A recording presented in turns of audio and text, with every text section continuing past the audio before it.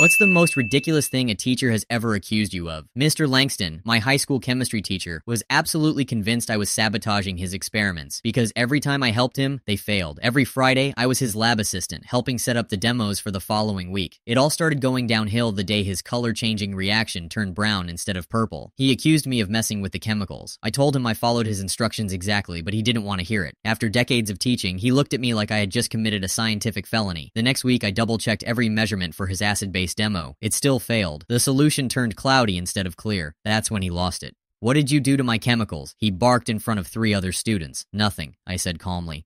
I followed your steps exactly.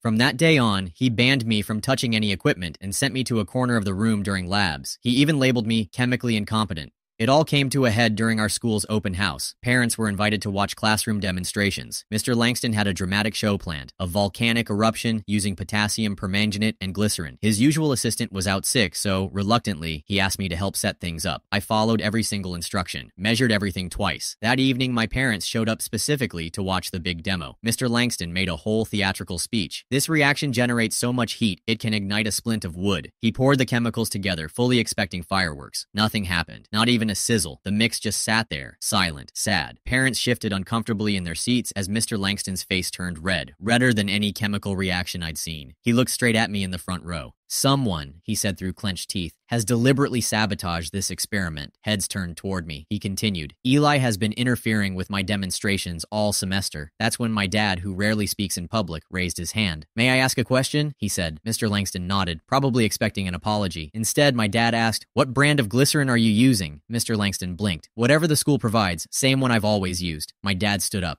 calmly. I work in the chemical industry, he said. That brand reformulated their glycerin last year. It now contains a stabilizer that blocks exactly the type of oxidation reaction you're trying to show. The room went dead silent. Mr. Langston stammered, That's, that can't be. I've used this demo for years. My dad walked to the front. May I? he asked, gesturing to the shelf. Mr. Langston nodded, looking a lot less certain. My dad picked up the bottle, pointed to the fine print on the label, and showed him. Right there, see? New formulation with stabilizer. That stabilizer prevents oxidation. That's why your demo didn't work. Then he turned to the parents. The experiments didn't fail because of sabotage. They failed because the chemicals changed and no one updated the safety sheets. Mr. Langston just stood there, frozen, mouth half open. My dad added, Honestly, if Eli had tampered with the chemicals like you said, the reactions probably would have worked. Some of the parents chuckled. The principal, who'd arrived during the demo, stepped forward. Sounds like we need to review our chemical inventory, she said firmly. Mr. Langston didn't make eye contact with me for the rest of the semester.